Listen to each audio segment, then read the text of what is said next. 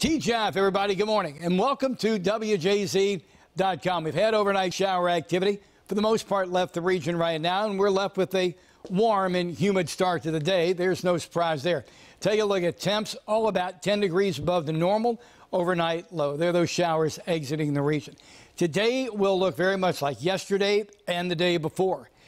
The humidity is going to feel more so than yesterday and the day before because we are in a southerly flow, and that's going to help unstabilize the atmosphere. And with this frontal boundary still stalled over the region, just like the past two days, we will have another chance for a round of thunderstorms, any of which could contain heavy downpours. So much so the Storm Prediction Center, again, is keeping an eye on us, has us in a marginal risk for severe weather. Futurecast shows by, you know, 3, 4 o'clock Storms starting to blossom in the area, pressing on across the region. By just after bedtime, skies will clear out. Then we're going to cut and paste and kind of do it again tomorrow. And here's the kind of. Once we get into the late night tomorrow, that frontal boundary is going to sweep the coast clear.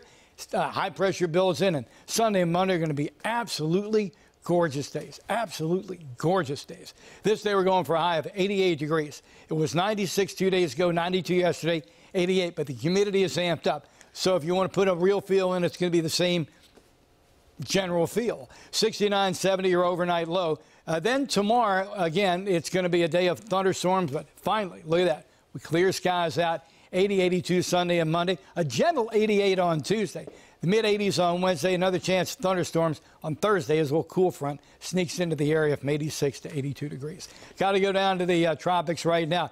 Cristobal is skirting the Yucatan Peninsula as a depression, becomes a tropical storm moving through the gut of the Gulf of Mexico, right to uh, west of New Orleans for landfall Sunday night into Monday. TGIF, everybody, ain't it the truth? Thanks so much for stopping by. WJZ.com.